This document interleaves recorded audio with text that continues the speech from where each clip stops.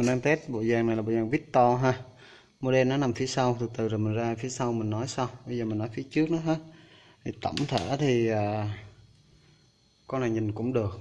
Không phải là đẹp sắc sảo đâu nó cũng à, tạm tạm thôi ha. Đánh bắt đôi. Đặc thù của Victor GVC thì à, thì anh em biết rồi ha. Đánh bắt chắc. Victor là tên quốc nội của GVC ha.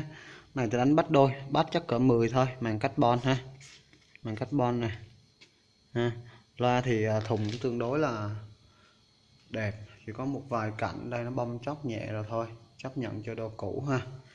Đây, mặt thì à, sám bạc ha bốn thất rồi con này bốn thất rồi con này bản quốc nội chạy điện trăm v bản nội địa ha. Thì uh, e căng đồ đầy đủ này ha. Rồi bây giờ coi mặt hậu nó một xíu. Hậu của con này thì uh, đây là đánh hai cầu ha. Là con này đánh hai cầu. Được chưa? model của con này là MX F3 mình gọi F3 cho nó nhanh ha. Đây nè. Đó. đánh F F3 dàn thì bốn thớt. Bốn thớt rồi ha. Điện 100V bản này thì à, bản quốc nội. À, chạy điện 100V này là quạt nó kêu nè.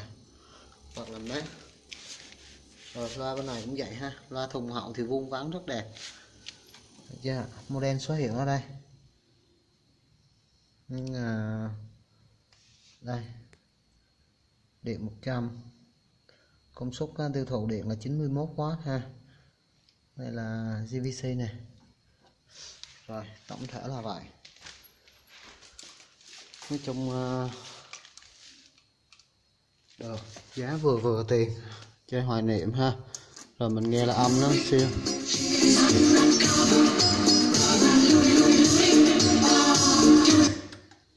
một đang test CD ha có đường cho điện thoại máy tính. Thì uh, con này thì có volume bass nè nó này ba lăng nè trái phải nè vậy thôi. Này chỉnh qua laser đầy đủ.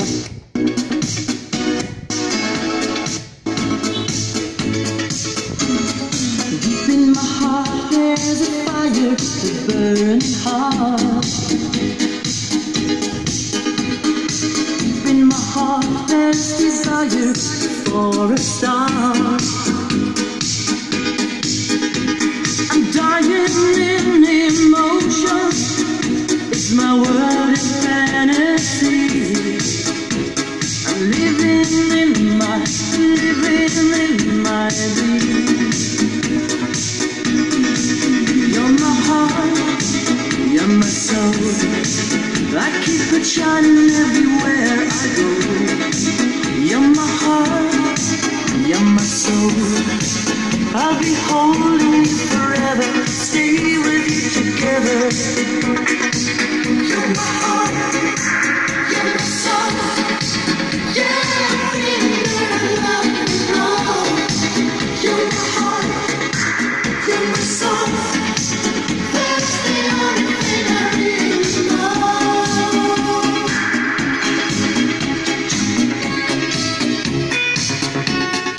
Chung là mình test CD thôi nha. Cassette thì à, còn vô điện này mà không biết à, được hay không? Cái set thì hên xui nha. Mấy cái dàn cỏ cỏ rẻ thì à, nhỏ nhỏ thì mình không có test cái set đâu.